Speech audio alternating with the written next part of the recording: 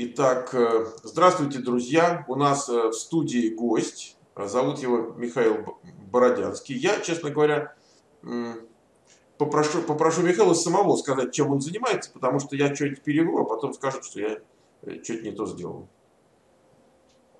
Могу сказать только, что Михаил живет в Санкт-Петербурге, но через эм, Месячишка навестит нас тут в Кремниевой долине, на, на пару недель приедет. Поэтому я как бы вот это видео делаю в предвкушении вот той поездки, которая будет. И еще я могу сказать, э, я рассказывал вас на канале, что мы готовим тесты для того, чтобы студентов на входе как-то, может быть, э, лучше ориентировать, да, э, с точки зрения результатов там потенциальных и так далее. Вот как раз Михаил будет нас тренировать в интерпретации психологических тестов вот, применительно к нашим задачам. Вот все сказал, теперь давайте вы объясните, чем вы занимаетесь.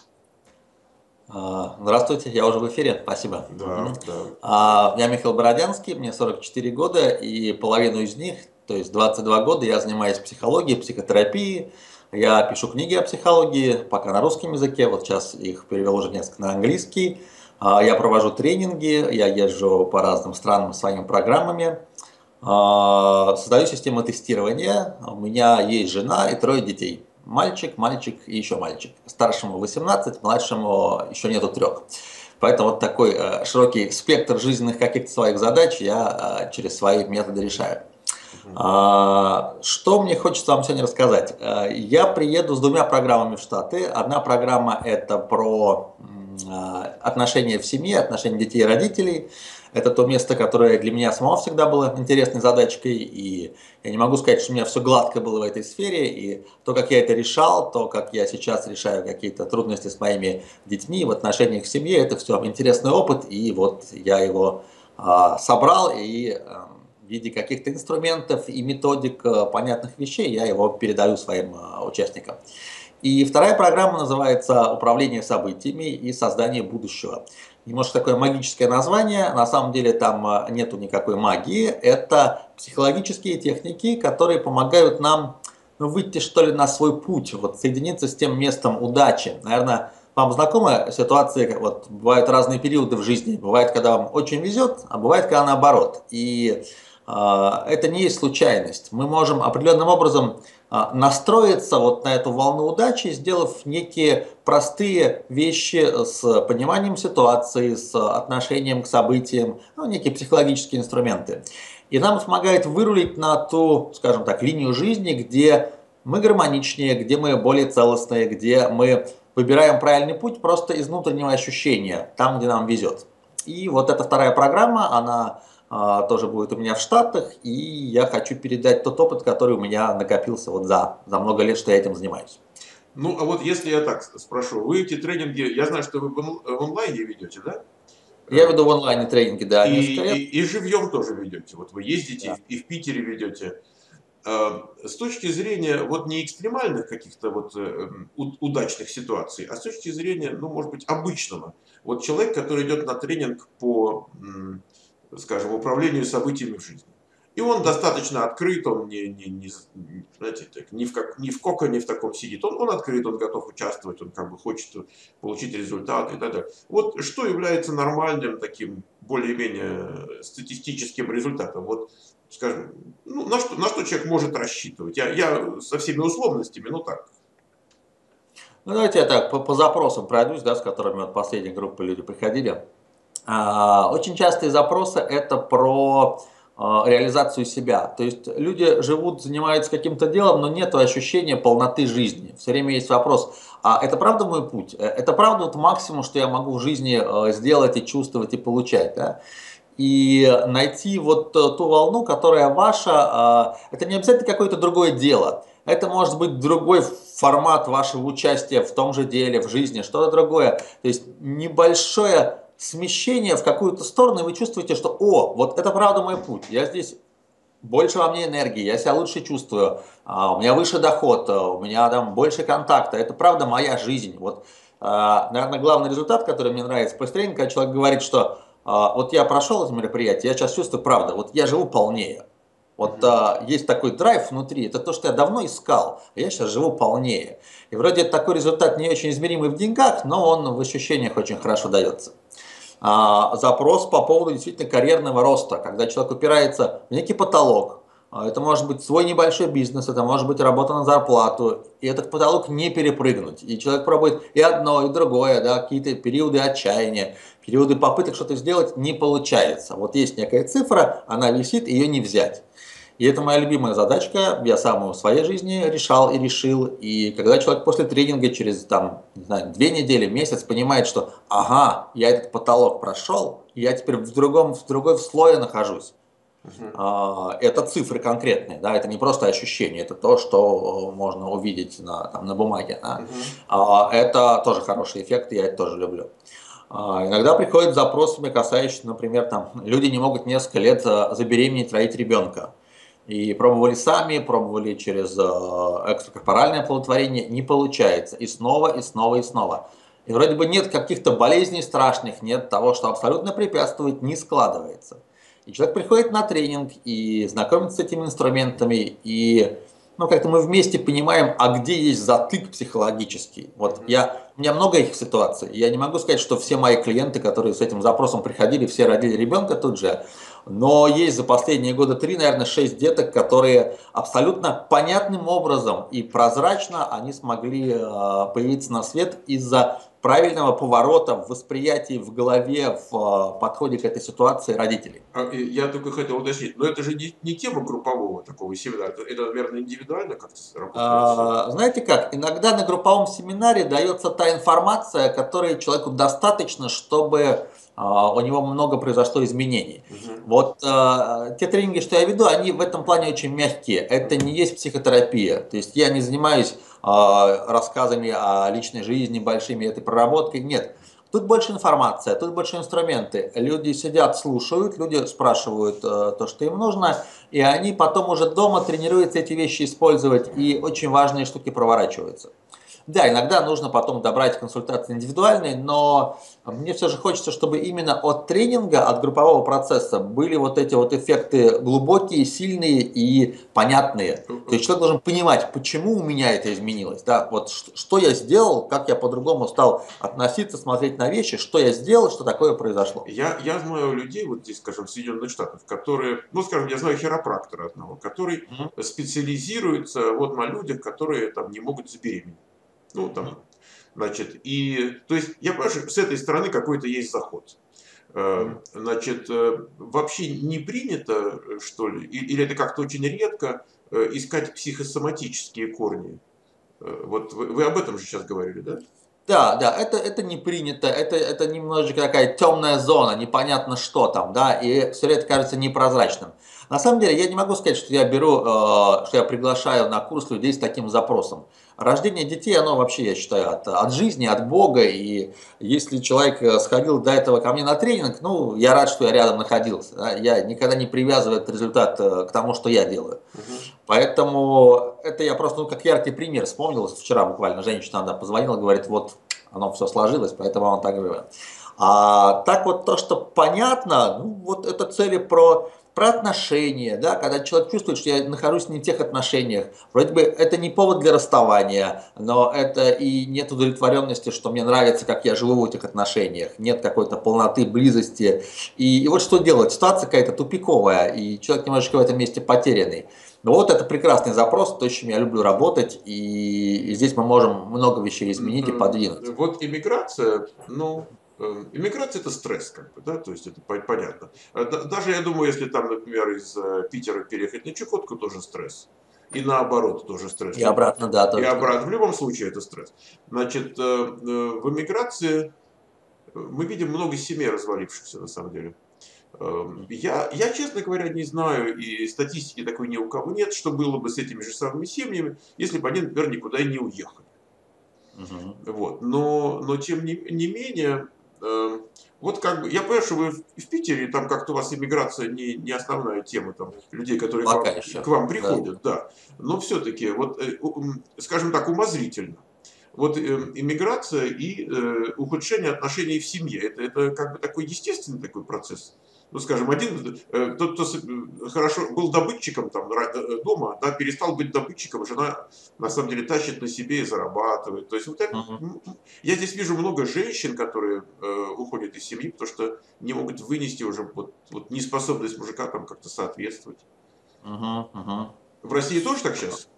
Ну, в России немножко по-другому сейчас, э, но тоже есть эти ситуации стрессовые, да. А видите, как здесь вопрос об ощущении своего места. Вот э, это важная штука, я много о ней говорю и даю упражнения на своих тренингах. Э, для нас очень важно чувствовать свое место в любой системе, в семейной системе, в системе, где мы живем, да, в некой стране, э, там, в своей большой семье, в организации. И когда происходит э, вот этот вот стресс эмиграции, человек, он из одного места точно выпадает. У него выпадает место из, э, из той системы большой, где он жил в стране. Угу. И для некоторых людей это такой стресс, человек не может даже свое место четко ощущать в семье.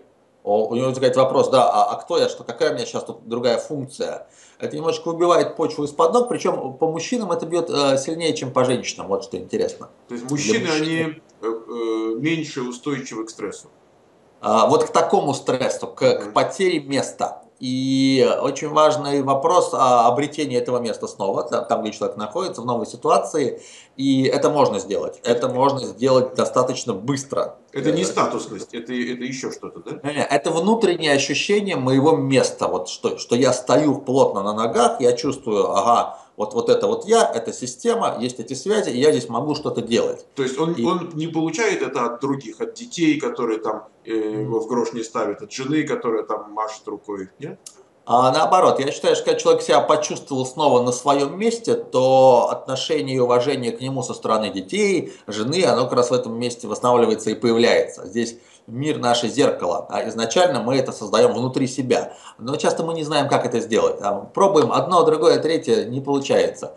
Вот снова эту структуру в себе выстроить, почувствовать эту вот точку, да, откуда я начинаюсь, где моя сила, она есть у нас у всех. Мы с ней просто контакт теряем. Знаете, вы, вы все говорите про место там и человек говорит, достиг потолка, куда делать карьерный рост. Я думаю, боже, я вот, например, не психолог и не психиатр, а просто человек, никого не трогаю. И я каждый день почти отвечаю на такие вопросы. То есть, ну, они, может быть, более такие айтишные, там, профессиональные. Но человек говорит, вот я там до чего-то дорос, куда деваться, что делать? Вот я сегодня с утра там на такой, такой вопрос отвечал, ну, так, из бытовых таких житейских э, соображений. То есть э, ощущение такое, что вот э, значительная часть человечества ходит вот с этими проблемами. Причем у меня такое ощущение, что я, они все время благодарят. Они говорят, спасибо, говорят, вот вы там что-то сказали. Я думаю, да не сказал я ничего такого. Э, просто ему надо было вот это где-то услышать извне. И в этот момент я там мимо шел и вот что-то сказал такое. Mm. И, и поддержку дали, да, и человеку стало хорошо. И он прожил два дня, и у него здорово. Потом он через два дня снова этим вопросом озадачился и кого-то другого ищет. А, мы очень часто ищем это внешней поддержки, пока мы а, этой структуры внутри себя не можем построить. Угу. И так и работают многие специалисты, психологи, тренеры. Есть масса тренингов, и туда придете, оттуда выйдете с хорошим настроением. Я сам на такие хожу. А потом проходит две недели, я думаю, так, а что реально у меня изменилось? Да? А что я правда взял? Я могу перечислить вещи, которые у меня сейчас по-другому. А, поэтому да, это проблемы стандартные, с ними ходит масса людей. Вопрос в том, а, можно ли эти вещи действительно изменить, изменить один раз, так, чтобы дальше они уже не возникали. И чтобы дальше, через несколько дней после, не знаю, консультации, тренинга, интернет-тренинга, вы не просто чувствовали, а вы знаете, как можете действовать по-другому у вас есть конкретные вещи. Раз, два, три, четыре, пять. Да, есть конкретные алгоритмы действий. Угу. А вот такой вопрос. Я как-то, знаете, мы четверть века назад уехали, вот как раз будет. Вот вы приедете, как раз четверть века будет, как мы уехали. Ага. проблема детей и родителей э, в том аспекте, что дети в другом мире живут, в котором родители на самом деле уже некомпетентны. То есть я понимаю, что это в эмиграции это особенно остро. Потому что э, уровень некомпетентности еще усугублен вот как бы другой да. страной. Там, а Но э, люди, которые привыкли работать там на советском заводе, или там в советском учреждении или что-то такое, да, и мозги у них прокомпостированы, вот это нельзя, то нельзя, вот они такие, значит, а тут э, молодежь, которая что там, что здесь, она как бы более приспособлена, она в более естественных условиях находится. Вот этот конфликт родителей с детьми, он, он лечится? Mm. Ну, я бы здесь не сказал слово лечится, да, он корректируется. Корректируется, да. А, да, а здесь главное, чтобы родители правильно поняли, чего они в этой ситуации хотят. Возвращение тех отношений, которые были э, когда-то с детьми сколько-то лет назад, не лечится. Э, попытка э, построить детей под э, какие-то собственные старые представления тоже не лечится. А вот выйти на какой-то другой, ну, другой уровень, другой формат отношений с детьми, когда есть контакт, когда этот контакт не теряется, и несмотря на эту вот разницу и разрыв восприятия мира в отношении ко всему, э, ну вот есть то, то теплое состояние у тех и других, да, и у детей, и у родителей, когда они понимают, что да, вот все хорошо. Ребенок мой может делать не то, что мне нравится, идти каким-то своим путем. Мне это часто да, вызывает раздражение. Я понимаю, что есть контакт. Нам, родителям, всем тяжело от потери этого контакта. И вот я знаю, там, со старшим сыном, которому 18 лет, у меня вот это главная тема. Я понимаю, что он во многом идет каким-то своим путем, по-другому, чем мне казалось бы правильным и прочее. И меня эти вещи бывает бесит иногда. Но то, что у нас с ним есть вот этот вот контакт, я понимаю, что в нужной ситуации он обратится ко мне, он меня услышит. Вот э, дети, они обычно родители не хотят слышать. И создать то состояние, ту атмосферу, когда дети готовы родителей услышать, это, это важная штука важно. А, а, Кроме того, а, мы же можем влиять на наших детей не только напрямую, ну как мы привыкли воспитанием, да, некие косвенно, неким отношением. И вот здесь можем очень много чего сделать. Плане самих себя, в плане наших отношений с детьми, мы можем научить детей быть в этом мире ну, включенными, гармоничными, что ли чувствовать себя на своем месте, да, о чем я говорил, опять эти мои. Э, это а, пока, они, пока они маленькие или даже потом? А, даже когда они большие. Вот когда приходят люди с запросом, вот у меня ребенок там 16 лет, 18 лет, да, вот он совсем там другой, живет в своем мире, я не знаю, что в этом месте делать, и я понимаю, что можно очень много чего сделать. Uh Я сейчас говорю не про способ воспитания, да, уже этих детей воспитывать, наверное, поздно, надо было чуть раньше делать. Я говорю про те связи, которые можем построить, а, перестроить заново, и в которых мы будем чувствовать себя комфортно, и будет ощущение, что ну, все идет правильно. Вот это вот хорошее ощущение родителя, когда он смотрит на ребенка, который делает все по-другому, есть внутри ощущение, что все идет правильно. Мой ребенок идет э, своим путем, и в этом месте он э, может быть счастливым. А вот эм, вот, всякие типологии есть, да, различные психологические, mm-hmm. там, классификации и так далее. И естественным образом родители и дети могут относиться к разным классификациям, типам и так далее. И это можно принять, как бы, ну, ну действительно, мы все разные. Если, например, какие-то вещи, ну вот на уровне убеждений, принципов, святого, ну вот, допустим, родители пашут, родители там чего-то в жизни добиваются, а вот он пиво пьет, пиццу кушает, телевизор смотрит, с какими-то девками непонятными ходит. И, и все. Угу. И все. И у него нет амбиций, и он не хочет учиться. И он, он с удовольствием живет с родителями до абсолютно любого возраста, пока не выгонят.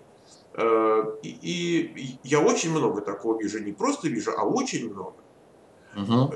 Что-то, это, это, это же не подпадает под ситуацию, вот как вы говорите, мы разные, но мы, я чувствую, что контакт есть там, это, это же... Да, нет, это другое, да, я сейчас могу про это сказать. А, ну, во-первых, мы, родители, пытаемся до, до наших детей донести вот эти вот ценности на нашем языке. Угу. Не очень понимая, на каком языке это нужно делать и правильно делать. И этого можно научиться, да, можно понять, чем я отличаюсь от моего ребенка, от одного, от другого, и эти вещи доносить немножко на другом понятном детям языке. А не просто всем детям, у каждого есть свой понятный язык, это можно э, сделать на этом языке. Но я все равно хочу сказать немножечко о других сейчас вещах. Э, вот э, сколько я лет работаю с родителями, а я много работаю с родителями э, разного возраста детей, у меня есть четкое убеждение, что если ребенок вот живет той жизнью, ребенок, подросток, как вы сейчас описали, да, там пиво пьет с девками и все, и ничего такого не делает. Не то, что пашет, не пашет, а ну, не горит чем-то, не да. горит какой-то там идеей, делом каким-то, еще чего-то, угу. то у этого ребенка а, внутри вот здесь вот очень зыбко, дискомфортно, ему там внутри очень тяжело и плохо. И это не есть нормально, потому что мы когда рождаемся на свет, ну, мы, не знаю, горим, горим жизнью, еще чем-то. И а, сейчас, кстати, все меньше таких вот детей, подростков, которые горят, потому что внутри у них там все порушено у них внутри очень нехорошее состояние. И это снаружи может даже быть незаметно, да, там он не наркоман, не алкоголик, он ведет обычную жизнь такого да, парня по весу. Есть там девочки и прочее. Но я когда смотрю на этих э, подростков и на родителей, я понимаю, что э, вот этот вот ребенок, у него там внутри очень тяжело. И я сам не работаю с детьми, я не детский психолог, я работаю на тему с родителями. И что могут сделать родители для того, чтобы у ребенка внутри там какая-то вот эта вот цельность появилась, чтобы у него появилось ну, какое-то направление, некий вектор, да, желание, чтобы он чем-то горел. У меня вот сын старший, он занимается историей. Пошел учиться в университет. А, я так, с одной стороны, думаю, что, блин, а, а кто тебя кормить-то будет? Да, ну вот ты будешь историком России. А. Да, я так понимаю, что ты будешь меня на 6 столько лет. Но, но, как он этой истории учится, угу. вот как он этим делом горит. Я так горел, когда после многих лет неуспеха поступил в медицинский университет и учился тому, чего мне интересно. Я понимаю, это ценнее всего. Этот, он там найдет себя. Вот если вот это вот горение есть, угу. то это будет. И среди его сверстников и там друзей моих и их детей я такого вижу очень мало. И, и я знаю, почему это происходит. А, ну вот так мы по жизни строим не совсем правильные отношения с нашими детьми. И... Подождите, подождите а, а, а почему? Это же самое интересное, это не сказали. Почему что? Почему мы почему, строим такие почему отношения? Почему это происходит? А потому что у нас, у самих, у многих внутри вот этой цельности нету. Мы научились в жизни как-то адаптироваться, мы научились э, это место закрывать, делать свое дело, зарабатывать деньги. Но мало кто из нас вот абсолютно честно может сказать себе, что я, я правда реализован в жизни, вот на 100%, как хотел. У меня есть еще куда двигаться, да, но вот э, это то состояние, о котором я мечтал. И когда я, меня об этом люди спрашивают, меня лично, да, вот вы правда, вы, это, э, находитесь в этом, у вас нет проблем, я говорю, да вы что, у меня полно проблем, у меня разные самые проблемы. У меня есть проблемы с детьми, там, в отношениях, иногда с деньгами, с чем-то. Но я когда работаю, я когда веду группы, консультации, вижу, что происходит потом, я понимаю, что я правда на 100% реализован вот в том, в чем я горю, и я этим до сих пор горю. То есть я сейчас веду тренинги, как 20 лет назад, да, я в этом месте как мальчишка, мне правда это интересно, каждый человек, каждая задача, каждая ситуация. Дети могут научиться этому от нас. И даже если мы уже в хорошем возрасте, мы свою жизнь так во многом а, прожили, мы можем помочь ребенку вот этот вот центр найти и, и какое-то вот направление в жизни, да чем-то загореться. А, это непростая задача, но она решаемая, и есть тут свои определенные к этому подходы, конкретные действия. Да? Не просто слова, а конкретные действия, что можем мы сделать, чтобы ребенок это почувствовал и включился в какую-то активную жизнь. И там мы смотрим, что ага, вот это вот совсем другое. Я, я-то вот вас слушаю, у меня такие все в голове пробегают, потому что у меня дочь училась э, по истории, она закончила университет Беркли по истории. И когда она поступала, я, я говорю, а как ты будешь жить? Так же, да, как да, в России? Да, ну абсолютно, да. И я, я, я, я очень люблю историю, я, я бесконечно люблю историю. Хотя, как один знакомый говорит, историю мало любить, ее надо знать. Но это отдельно. И, значит, и она говорит, это вот это вы, говорит, э, первое поколение мигрантов, вот вы об этом думаете, а мы, вот будущее, так сказать, страны, мы не такие. А потом, когда она уже закончила, и, значит, э, я говорю, а что теперь будешь делать? Она говорит, ну, программистом, может, пойду там. Вот. Ну, до этого не дошло, она стала адвокатом, но э, к чему я говорю, э, конечно, когда глазки светятся, и когда человек хочет чего-то, это, это очень дорогого стоит. Потому что когда, да. вы знаете что, приводят ребят, приводят бабушки, приводят родители, приводят молодых мальчиков 17-18 лет, которые школу закончить не хотят. И у них глаза пустые. И эти глаза наполняются смыслом только когда он берет свой смартфон и начинает в игру играть. Угу, угу. Понимаете? И слава богу, за это зацепиться можно. У меня один такой геймер был. э, с потухшими глазками, и мы его отдали в компанию, где игры тестируют. И он там вообще героем был большим, и я его через три года встретил, он там на конверта был тачки едет, у него такая цепь золотая тут вот в палец толщина. Ага, ага. О, вы что? Реализовался.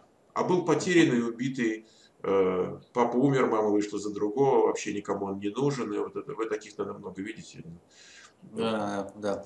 Я обычно говорю родителям, что ребенок, вот он весь в играх, в этом, а, но он как бы не живет реальную жизнь, да, я это называю, что он, он не смотрит свою жизнь, да, такое символическое понимание, не смотрит в сторону своей собственной жизни. Он не видит туда, он э, чем-то отвлечен, куда-то погружен в другое состояние. Очень часто дети разного возраста, они несут э, в себе какой-то тяжестью проблемы своих родителей, проблемы отношений своих родителей. Угу. И у меня нет задачи исправлять отношения родителей, да, это взрослая жизнь. Но так, чтобы ребенок не нес эту тяжесть за своих родителей, чтобы он смотрел в свою жизнь, чтобы он жил в свою жизнь, это можем сделать мы, взрослые родители. Что бы ни происходило в нашей жизни, как, какой бы у нас ни был там тяжелый бэкграунд, разные события, а, мы можем сделать так, чтобы наши дети жили свою жизнь. Хотя у них абсолютно рефлекторный есть такой порыв, э, ну, смотреть в наши проблемы. Смотреть не в смысле, ну, глазами смотреть, да, а своим внутренним взором. И это изначально, наверное, самая частая проблема, когда ребенок э, вот этим вот своим э, фокусом внимания, что ли, он смотрит на проблемы родителей. Иногда еще круче на проблемы, там, не знаю, про родителей, да, там бабушек, дедушек тоже бывает. И, и на себя переносит а он не переносит это осознанно на себя, он как бы эту тяжесть несет, mm-hmm. да, он под этим вот живет. И э, сколько мы не говорили нашим детям, э, да, что там это наши проблемы и все, не, это, это глубже, но есть свои способы, приемы, которые можно эту ситуацию выстроить так, чтобы ребенок туда не смотрел. Э, вы знаете а, что, вы затронули тему, э, просто у нас на канале, мы, вот это видео тоже у нас на канале будет, у нас на канале очень часто есть дискуссии на тему вот про игры. Что одни ребята говорят, ты, ты в чем проблема, поиграл, пошел дальше. Или там говорят, я вот прекрасно, у меня семья, я инженер, туда-сюда, но час в день там я играю. А другие говорят, ой, игры, уход от реальности, ничего знать не хочет, только играет. И у меня в офисе вот приходят родители с детками, да, они не с книжкой приходят, они не с куклой приходят, не с собачкой приходят, они с, вот, с девайсом, и они сидят да, играют. Да, да. Э, это, это, э, скажем так, это действительно как-то большая проблема, широкая, или это так все ерунда, поверхностно, ничего страшного? Вот если у родителя ребенок вот целыми днями играет, это совсем плохо? Если можно так сказать, что ребенок этими играми живет, так. я бы сказал, что это ну, проблема. То, что это большая проблема, да, не смертельная проблема, но это то, на что надо обратить внимание. Угу. И самое неправильное здесь это ребенка в этих играх ограничивать. Потому что если есть некая дырка, которую ребенок этим местом закрывает, угу. не просто так же он закрывает, да, взрослый там курит, когда у него есть какая-то проблема, еще что-то делает, да, ребенок играет. А, если мы эту затычку уберем, чем ребенок это будет закрывать, непонятно. А эта дырка сама по себе, она не зарастет без какой-то работы. Поэтому я вот против а, удаления этих игр. Но я знаю очень хорошо, что а, дети, которые вот так были в это все погружены, в эти игры, да, фанатели, не жили какой-то обычной жизнью, когда у их родителей происходили правильные перемены, не знаю, в отношении, в голове, в восприятии, в понимании ситуации, а, в какой-то переоценке своей собственной ситуации, переноса это на детей, дети переставали столько играть. Они играли чуть-чуть, они переставали жить этой игрой. Да, у них оставалась игра, там где-то, когда им нечего делать, они могли этим заняться, не было этой включенности. Я даже по своим э, чувствую, по старшим, что они в разном состоянии очень по-разному играют. И когда ты, э, я понимаю, что ребенок этой игрой живет, я думаю, господи, что опять-то произошло такое, да, почему тебе так внутри тяжело и зыбко? А когда-то он говорит, да, нормально, выключил и все. Слушайте, а вот, мы, вот я марки собирал. Вообще в наше время было очень принято марки собирать. Угу. Это, это такого же типа занятия или, или это вот что? То есть человек как... А, те, кто этим жили, я тоже помню, да, что он живет марками. Он были, же, были когда такие. смотрит, да. он смотрит на нового человека, он не думает, как его зовут и как с ним познакомиться. Так, а у него есть марки? Идет такая вот первичная оценка, okay. да, у него есть марки. Uh-huh. А, я бы сказал, что это тогда, да, это тоже есть проблема. Да, они последнюю копеечку отдавали у магазина филателист, там за какую-то марочку они приходили, там, да. Я, Опять же, если он это сделал, у него это часть жизни, а дальше он делает одно, другое, третье, все в порядке. Но вот если он выключен из жизни, а сейчас очень многие подростки и дети, да, какого-то возраста, они выключены из жизни, они включены в игры, они включены в какие-то вот эти вещи, и это следствие, с этим э, не надо и нельзя бороться, надо это смотреть как некий признак, что, ага, что-то у меня не то с ребенком, да, я могу подумать, а что в этом месте я могу изменить, чтобы он все-таки посмотрел на свою жизнь и сказал, что там, мама, папа, я вот чего-то того хочу. А пусть это будет какое-то безумие, но это что-то будет из реальной жизни. Михаил, я, давайте вас переключу на тему управления событиями. Потому что я, я вас слушаю, у меня целый рой, Давай, рой там да. всего. Знаете, я да. кликает так и эм, для наших вот зрителей, потому что они спрашивают очень часто, очень часто. Причем, когда люди спрашивают, многие их ругают, но э, описывается ситуация, это может быть на несколько страниц. Один вот говорит, у меня оригинально было 10 страниц, но я сократил до трех, я знаю, что вам некогда читать. Но, ага. но упирается в то, что вся его жизнь, вот читаешь, жить не хочется. Понимаете? То есть все плохо. У него тут его, и там его, и здесь его. И, Ой, и люблю вы... такое. Слушайте, люблю такие, послушайте, да. вырваться он не может. Не может да. вырваться и ему на самом деле нужно сколько-то денег. Вот он бы изменил свою жизнь, если бы у него была там какая-то сумма, он, может быть, эмигрировал бы, или уехал бы в Москву, или там, я не знаю, ну что-то, вот то место, где он находится, вот это какое-то проклятое, вот у него там все плохо. А бывает, что еще и уехать нельзя, потому что бабушка больная или мама у него на руках, и, и ну вообще ничего. И я, я думаю, что же он мне пишет? Он в последней строчке говорит, что я понимаю, что вы ничего сделать не можете, но хотя бы прочтете, мне уже легче. Там что такое э, вот деньги, вот безвыходность вот эта вот тупиковая, э, как, как, как-то управляется события, вот такие, такие события управляются? Да, я люблю такие задачи, э, и это мои ну, во многом любимые клиенты, потому что я сам когда-то из такой ситуации вышел, я был в ней долго, я был в ней глубоко, Угу. Был до состояния, когда я думал, что ну вот если бы не было детей, наверное, сейчас бы застрелился, правда. Ну, потому что денег нет, ничего нет, да. Но дети есть, как-то стреляться, ну, наверное, нехорошо. Вот. И я ходил на разные тренинги, я ходил к психологам, где-то было хуже, где-то было еще чего-то. А потом я нашел способ, как из этого выйти, я сделал из этого инструменты. А, я называю эту ситуацию «жизнь меня живет». Угу. Не я живу жизнь. Да а жизнь меня живет. То есть едет по, по течению какому-то вот. Да вот даже не то, что можно ехать по течению очень гармонично, да, так, э, не сопротивляться жизни, а, а бывает моя волна, uh да, течение. Да. Я в свою волну встроился, я плыву на ней, и все хорошо. Да. А это как раз он едет и против течения, да, и, и все сыпется, да, такая жизнь, как какой-то неприятный сон. И, э, наверное, большая часть моих инструментов, то, что я последние годы делаю, чем я занимаюсь, они как раз про это. А, есть я абсолютно точно знаю, что эта ситуация, она останавливаемая. Эта ситуация, она переворачиваемая. Причем, чтобы ее перевернуть, начать переворачивать, это не нужно годы и месяцы. Вот э, так, чтобы жизнь перестала вас жить, а вы начали ее жить, для этого достаточно иногда нескольких дней. Это, это еще не другой уровень финансового достатка, да, это еще не жизнь в другой стране. Но это те дни, за которые можете точно сказать, да, я сейчас иду по другой линии, я сейчас иду в другой волне. А, ну вот если мы человек, человек инвалид, он же не перестанет быть при этом инвалидом. Он инвалидом быть не перестанет, но если он был инвалид, который не мог найти варианты, э, не знаю, реализации себя по жизни, получения дохода, еще чего-то, то эти варианты он потом найти может. И потом инвалид такое относительное понятие. У меня много клиентов, которые меньше могут, чем э, люди без ног, да, хотя у них есть руки, ноги, да, но они приходят, вот их так жизнь живет, он говорит, я здоровый мужик. У меня руки, ноги, вроде голова, а я не могу ситуацию схватить. Я не могу начать ей управлять в разных областях. В отношениях, в деньгах, в карьере, там, в каком-то переезде. Я не могу включиться. У меня ощущение, что она как бы надо мной. У меня нет пульта, которого я могу вот эту жизнь направлять. Вот моя задача человеку этот пульт дать. Он у каждого свой, но есть определенные вещи общие. И я знаю то место, где это, эти кнопки находятся. Это абсолютно конкретные вещи. Это не какая-то там эзотерика, да, что мы там волны гоняем. Нет. У нас с вами есть определенные места в нашем сознании, в нашем понимании. И мы можем на эти места посмотреть, мы можем эти вещи сделать, это изменить, и это происходит быстро. Иногда это происходит мгновенно. И поэтому вот, наверное, большинство отзывов, которые у меня есть там а, на сайте, они как раз об этом, да, что я вот жил в такой ситуации и, и не знал, что делать, потом изменилось. И для меня очень важно, чтобы человек понимал, почему изменилось. Не просто он сходил там на тренинг, посидел и стало хорошо, а чтобы в следующий раз, когда он окажется в какой-то трудной ситуации, он сделал те же самые вещи.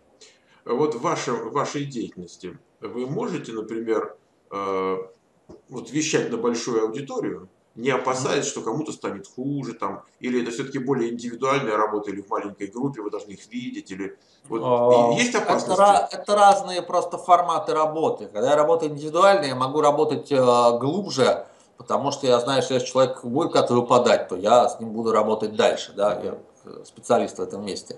А когда я работаю в группе 15-20 человек, это другой формат работы. Хотя в группе до 30 человек я работаю все равно индивидуально. Это не есть консультация, но я секу каждого. И мне важно, чтобы каждый с разными задачами, с разными особенностями здесь взял именно что-то свое. Поэтому я не беру в группу 70 человек в такую, да, а я беру тех, кого я могу отследить все время а, тренинга от начала до конца. А, если я работаю на зал, то это больше, разумеется, там, да, формат лекции и я даю немножечко другие вещи, но тоже на эту тему, но я не даю то, что может э, человека вырубить, выключить. То же самое работая в интернет-тренинге. Я когда не вижу клиента напрямую, то я в этом месте осторожный, я понимаю, что вот здесь есть граница, за которую нам выходить не надо. Но эффективность интернет-тренинга по этой же теме, она меня самого удивляет. Я думаю, как люди могут вот просто через интернет, там, задавая вопросы, видя меня чуть-чуть, этот материал, как они могут эти же вещи двигать? Двигают? Интересно. Да, это, это странно. Я когда-то, знаете, в 86 году эм, в журнале «Науки, «Наука и жизнь» у меня был такой самоучитель по машинописи. Я занимался методами быстрого обучения, и значит, мы с товарищем сделали методику. Ну и вот я ее опубликовал, и я плохо себя, настроение было неважное, потому что я понимаю, что когда я в классе, когда я с людьми, когда я вижу там столько тонкостей, ну невозможно же так вот на бумажке-то он сам. Я был потрясен вот письмами, которые приходили, и потом уже в Америке там люди мне говорят, слушай, так это ты, а я вот привез с собой журнал вот тот, там у них с собой. Вот, это, это очень удивительно, что люди могут сами сделать, если у них просто какой-то вектор им дали. Uh-huh. Эм, знаете еще что? я думаю, э, вот такой вопрос я задам. Э, я у нас на канале рассказывал про э, Толкачева. Немножко. Немножко. Эм, у нас, знаете, много критического народа. Вот они там про Бога скажешь что-нибудь, они скажут про Бога ругаться начнут, там скажешь про психологию какую-нибудь, скажут тоже, если там укол не сделали, так вроде и не лечили, там, ну, в общем, по раз, разные точки зрения встречаются. И вот Толкачев, вот это его векторная, как он, э, не психология, но как ты иначе это называется. Ну, системно-векторный психоанализ он это называл. Психоанализ. Вот э, э, я пытался поискать, что там есть э, из Толкачева на YouTube. Ничего нет, практически ничего нет. Э, я знаю человека, который взял какие-то лекции Толкачева, большой там кусок у него был, там 50-60, не знаю, где-то он там начитывал, он повесил, его тут же грохнули вместе с каналом, там, со всеми делами, значит, там кто-то пожаловался и так далее. Uh-huh. Толкачев, он какой-то секретный или кто-то коммерческий интерес охраняет? Вот почему человек, его в живых уже нету? Почему, да, это, да. почему это знание да. не идет вот так в массы? Он на самом деле хорошо рассказывает. Вот я его слушал. Он хорошо рассказывал, да. А, есть Юрий Бурлан, который этим занимается, он живет в Нью-Йорке, и он охраняет коммерческие интересы в этом месте, да, он а, скажем так, э, по объему бизнеса и рынка в этой сфере, он, конечно, впереди планеты всей. Вот. Э, он учился тоже у Толкачева позже, чем я, лет на 10, наверное. Э, но он дает в своем формате, я даю в своем формате. Я вот могу так сказать, чтобы вообще понять мой формат, очень быстро, очень просто. Да, есть моя книга, она есть в интернете, она доступна. Она называется «Психология ваших отверстий». Ее можно скачать, почитать. Просто она down, downloadable такая, как бы можно качать. Да, да, да, да, там сокращенная версия, она на 75%. Вот, «Психология ваших отверстий». Михаил Бородянский. Просто скачайте, почитайте. И а, во-первых, вы вникнете в суть этой векторной теории, ну, скажем так, да, не, не из первых уст толкачевских, а из вторых. Во-вторых, вы ну, почувствуете формат, в котором я вообще работаю, пишу книги, веду тренинги. Это хороший формат, он многим нравится. Вот. И там есть конкретные практические вещи по поводу отношений, по поводу родителей, по поводу детей. А, я считаю, что эта книга, она психотерапевтическая. Вот не знаю, какой канал открылся, когда я ее писал, а, потому что это больше, чем я, наверное, сам мог сделать. Но вот а, она хорошо работает, сама по себе хорошо работает, и я так это по отзывам смотрю. Поэтому проекторы туда, ну, есть Бурлан, у него свой формат, да. Я просто, мне, мне как-то обидно, что Толкачев практически недоступен вот в оригинале. То есть, а допустим, вот я, я, поскольку Светлана моя, значит, там брала курс у Бурлана, и я имел возможность так посмотреть, понаблюдать.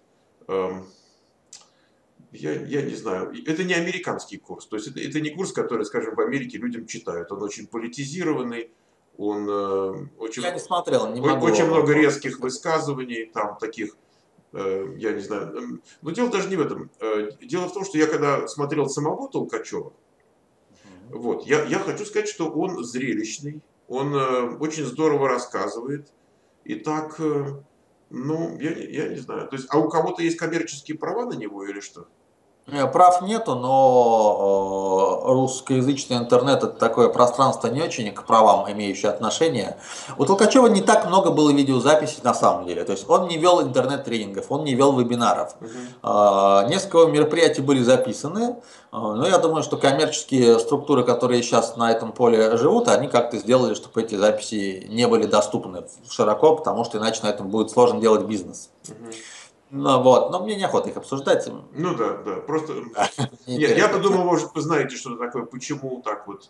Э, я четко ответил, что есть коммерческий интерес у соответствующих структур, но вот э, меня не трогает, потому что меня вот мне сложно трогать. Я э, из них, из всех самый ранний, кто стал этим заниматься. Я это не делал широко в интернете, потому что мне было больше интересно, там, не знаю, глубина, эффект, наука и еще чего-то. Да?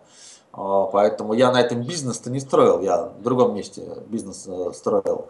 Я журнал издавал, э, интернет-порталы психологические делал, у меня были другие развлечения в этом месте. Ну, а люди сделали бизнес, поэтому э, Толкачева и все остальное, что есть на эту тему, как-то вот... Но, э, но вы не хотите, например, там, допустим, начитать там, 10 часов или там даже 5 часов там про вектора, введение в эти вектора. Да. Или, там а еще у меня была мысль это дело и, сделать. И, и пусть считаю... висит все в YouTube, все смотрят.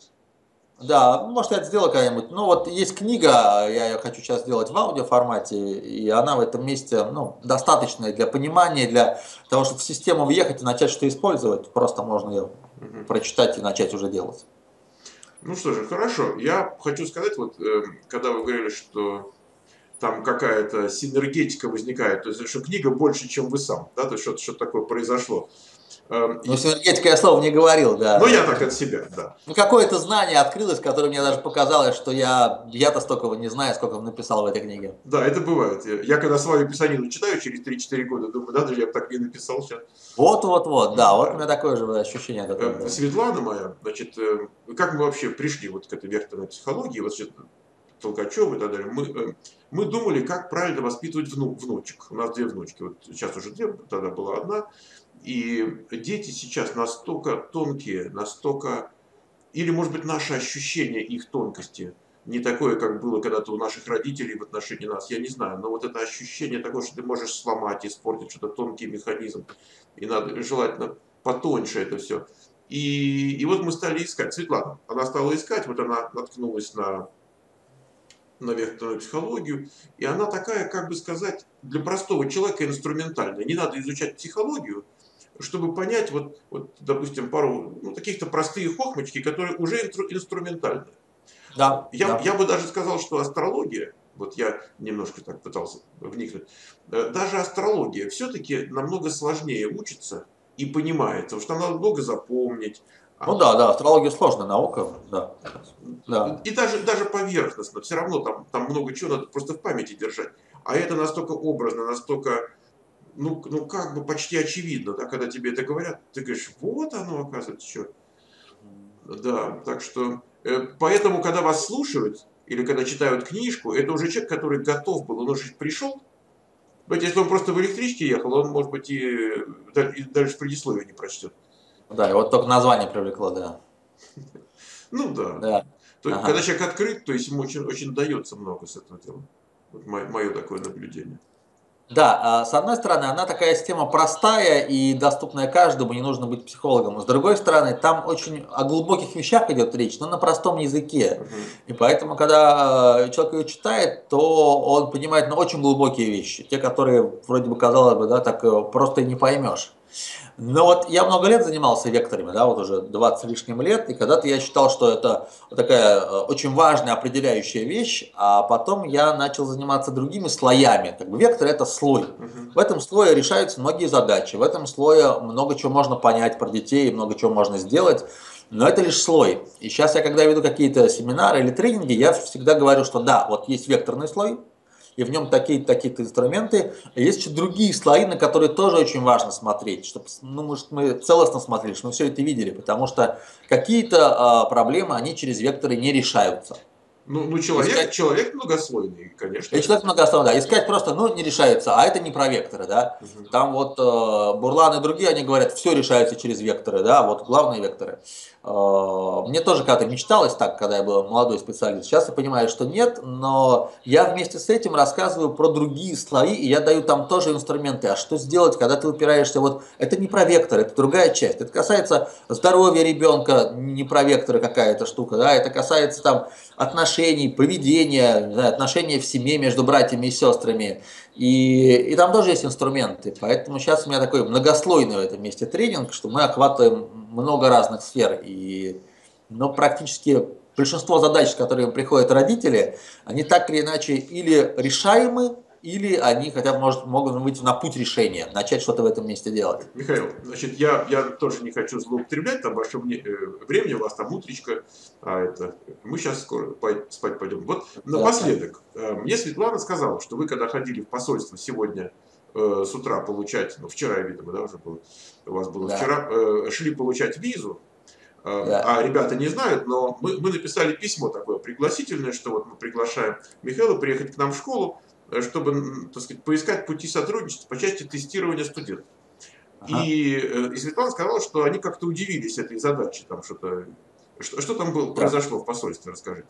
А, да, а он говорит, а зачем это русский специалист едет э, к нам в Америку тестировать наших людей, которые учатся в школе? Я объясняю, что ну, там есть много русскоязычных и прочих он все равно с таким недоверием, да, то есть э, слово тестирование вызвало у него какое-то нехорошее ощущение, что русские к нам едут тестировать. Так. И я сказал, что вообще я на эту тему написал книгу, да, и вот она, он говорит, покажите книгу. Я беру эту книгу, его маленькая, это окошечко, где щелочка там только для паспорта, да, там много не подложишь. И я пропихиваю эту свою книгу, и я говорю, что вообще я перевел уже на английский, но вот пока не издал, да, не могу засунуть. И он открыл эту книгу, он стал ее листать, там смотрел эти вещи, и я сказал, да, окей, хорошо, мы вам а, одобряем визу. То есть он ее не прочитал, конечно. Но вот он как-то, не знаю, взял в руки, посмотрел, да, соприкоснулся, ну да, человек книги пишет, пусть едет к нам, да. тестирует. Ну, то есть, может быть, проще было сказать, хочу там, э, я не знаю, речь какую-нибудь посмотреть, или гору там, Диснейленд там. Да, но у меня же было деловое приглашение, ну, поэтому да, я да. писал, что я, я еду по делу. А, а вам визу дали на, на, да. на три года, на, на сколько? Э, это я узнаю завтра, когда я привезут. Я не стал спрашивать, я ага. спокойно к этому отнесся. Понятно. Я управляю событиями, поэтому я не тороплю жизнь, я в нее встроен, в ней все происходит так, как надо.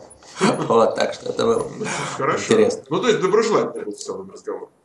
А, разговор был сначала очень критичный и подозрительный, но с появлением книги он перешел в другое русло, да, это интересно. Ну, он плохо говорил по-русски, я начал с ним говорить на английском, он начал говорить очень быстро, я по-английски так быстро не понимаю. Ну, непростой был разговор, но... Но вы книгу как бы э, в порядке управления событиями прихватили или с собой? Или у вас всегда с собой? Ну, моя книга, моя визитная карточка. Я ее с собой таскаю, когда веду тренинги в Европе э, и в других странах, в Израиле. Я много где работаю, поэтому книга она такая. Всегда с собой. Ну да, да. Ну что ж, хорошо, ладно. Михаил, давайте мы вот что сделаем. Э, я думаю, что у нас уже много народу, которые заинтересовались вообще, у них, наверное, будет много вопросов. Поэтому... Вот, да, я готов еще сделать такую встречу с ответами на вопросы. Вот если появятся вопросы какие-то конкретные, четкие, да. про детей, про отношения, про управление событиями, про какие-то изменения, у нас будет предметная встреча, я на эти вопросы отвечу с удовольствием через сколько-то дней. То есть, э, фактически, я тогда говорю ребятам, которые смотрят, я говорю, Если маленький вопросик, вы пишите в комментариях, хотя в комментарии можно довольно много текста запихнуть. Угу. Если уж совсем громадный вопрос, пишите туда мне в личку. А, если там что-то такое, ну, достаточно не для публики широкой, я не знаю, пишите мне в личку, а я потом, значит, переброшу Михаилу, и э, мы такой вебинарчик сделаем. Э, да, да, давайте. Потому что отвечать на вопросы всегда это интересно, это живо, это то, что волнует людей. Знал бы я такое дело, я бы все письма, после которых жить не хочется, я бы для вас отложил. Ладно, хорошо, значит, тогда давайте мы всем так, у нас традиция такая, мы так рукой машем, говорим пока. Пока-пока и до новой встречи.